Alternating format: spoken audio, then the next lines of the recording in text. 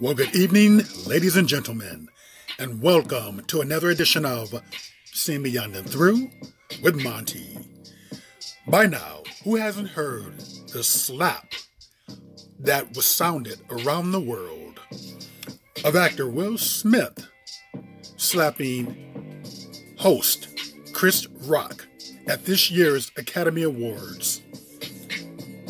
It was done in part because Will Smith felt that host Chris Rock disrespected his wife, actress Jada Pinkett Smith. And with this action, many black women applauded Will Smith for protecting his black woman. I'm going to play you two videos we like to go around say protect black women, but y'all just don't understand that sometimes protecting black women means slapping the shit out of other black people. Sometimes protecting black women means slapping the shit out of your friends. Okay, so you heard that viewpoint. Now here is another black woman cautioning other black women not to get their black man involved in every single incident where's you feel disrespected. Listen to this. Stop calling your brothers and your cousins for every little argument. Because you women sit on social media, you sit around, oh, everybody yes. killing everybody, but you never tell the truth that there's been a thousand shootings and homicides trickle back down to you running your fucking mouth or you calling somebody and exaggerating because you feel disrespected. Stop calling people. You get argue with somebody on the block, that said, Leave it there. You call your brother, now these niggas going through it the whole summer. And then somebody child die about it. That That's your fault. Okay, I'm going to have to go along with the second poster because the whole problem in which I have with this incident with Will Smith and Jada and Will protecting his black woman. Please explain to me when and how was Jada's life in danger? Or how was she threatened? How was there any type of threat of any anything physical happening to her. Explain that to me. Because I'm all for protecting the black woman. However, I'm all for protecting her only if there is a sign of imminent danger. I'm sorry.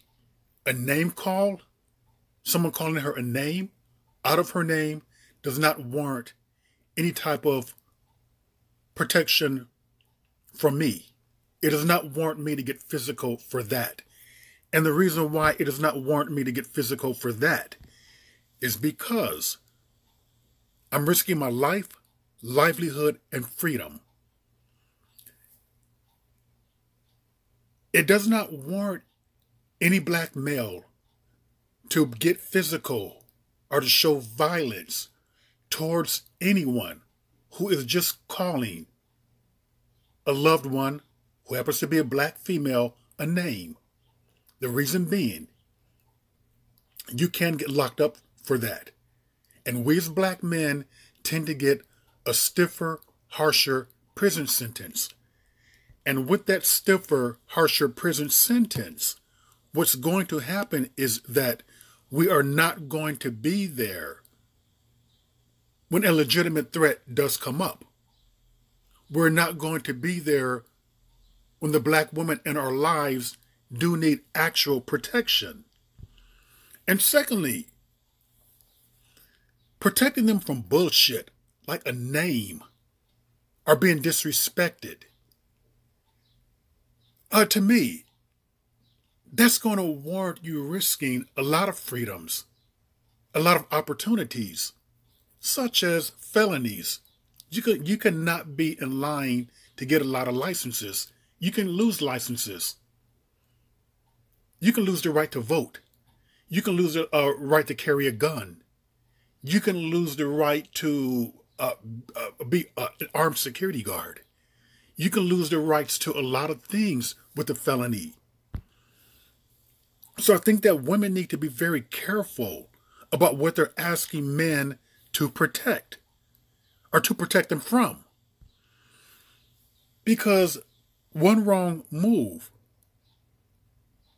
can put us in jail five, seven, ten years just because you were called out of your name, because you were called a bitch, because you were called ballhead, you were made fun of. To me, that does not warrant any protection right there. However, any type of physical threat, obviously, I have no problem with that. Even if someone is advancing towards a black female in my family or someone who I care about, she's going to be protected. And you know how those little pranks that people do, throwing like a rat on someone or a spider on someone? Well, do that shit in front of me to a black female who's in my family. Yeah, you're going to get walloped over the head. So I just think that people need to be very careful about what they are protecting the women from. And black women need to be very careful about what they're asking their black men to protect them from.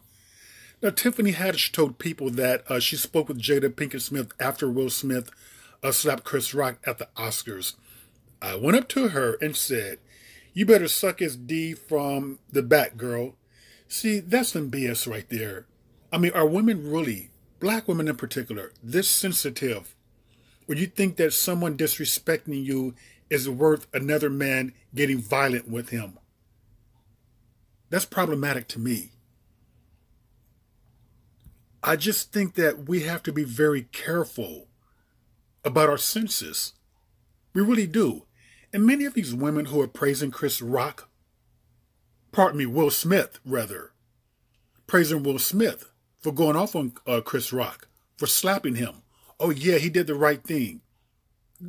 Some of them claim to be Christian. They're supposed to be Christian women, followers of Christ. But wasn't, by your opinion, Jesus Christ, the greatest man who ever walked on this earth, but yet people talked about him. So you got to have some balance right there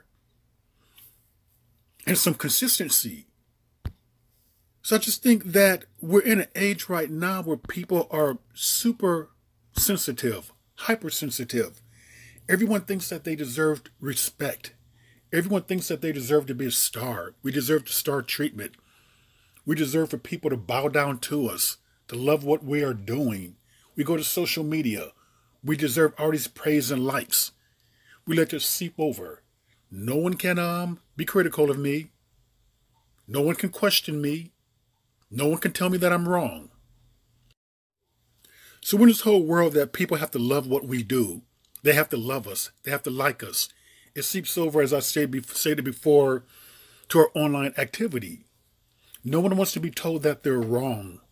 Everyone wants this praise and glory heaped upon them.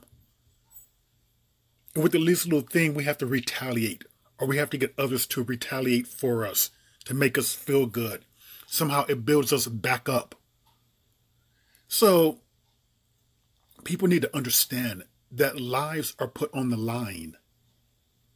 When you ask people to do things for you that they shouldn't be doing, that they don't really have to do, that they could just walk away from and be mature and, yes, turn the other cheek.